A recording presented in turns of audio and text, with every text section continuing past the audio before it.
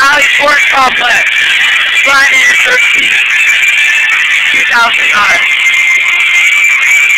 Come in, sit on over there. I'm gonna go missing. Good long night.